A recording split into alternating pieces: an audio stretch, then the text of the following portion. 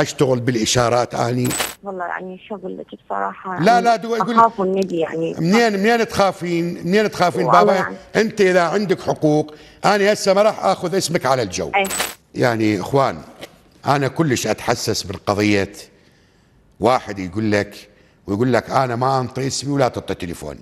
زين.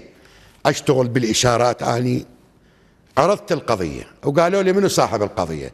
شقلهم بين قوسين فارغ قالوا يابا اتصل بصاحب القضية. أقول لهم ما عندي تليفونه. أخوان اللي عنده مظلومية ويشعر إنه عنده حق حقيقي على الدولة يطلع يقول أنا فلان ابن فلان. حتى إذا الدولة سالتنا والدولة قالت لنا منو نقول لهم يابا ترى نجم المخابر صبيحه الخابرات فضيلة العتا حقوق. زين شلون أنا أطلع وما أقول اسمي؟ أحط صورتي هم ملت الناس النهار كله أصرخ. لو عندكم حقوق وتحجون بحقوقكم وبمظلوميتكم أهلا وسهلا. لو تقول أنا ما أقدر نعم أقدر الناس تخاف. إذا تخاف خلي موضوعك. إلى أن تصير عندك الجرأة الكاملة بضمان حقوقك.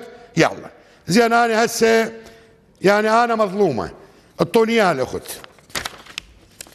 اعطوني اياها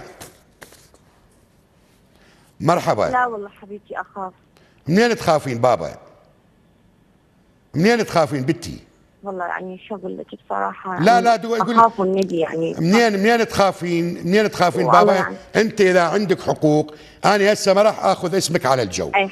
منين أنت؟ لا انت لا. بس تقولين إذا خلص يعني أخاف هذا اني على الواتساب أفضل.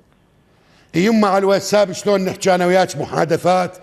أنا رجل مؤتمن إنه أنت مظلومة ممكن أطلع مظلوميتك قدام أبو مصرف الرشيد وأبو مصرف المستنصر والتلاعب وهذه الأوراق والوثائق؟ اللي موجودة. ألو؟ ألو؟